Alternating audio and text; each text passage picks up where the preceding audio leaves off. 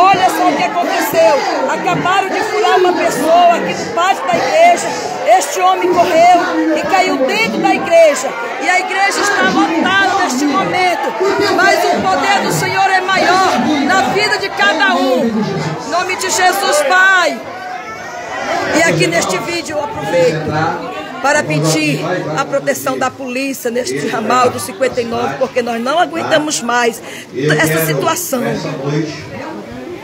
Eu quero repreender na autoridade do nome de Jesus todos os demônios que estão ao redor desse trabalho.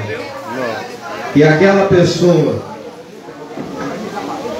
aquela pessoa que fez, que veio fazer esse mal aqui na casa de Deus, eu digo para você, você receberá o agir de Deus, na sua vida ainda nessa noite.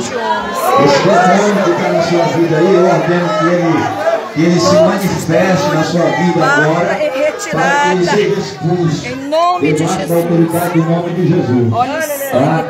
E quero ver, é, é, o irmão Joaquim vai conduzir Januário ali para a cidade. Nós já oramos por ele.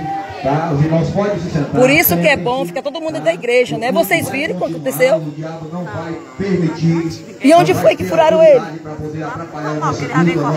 Lá do ramal. Porque nós viemos aqui para adorar o nome do Senhor. Que situação. E caiu dentro da igreja, né? Continue adorando a Deus. Sangue de Jesus tem poder, né? Porque Ele é quem é digno de honra, de glória Que situação. e de adoração.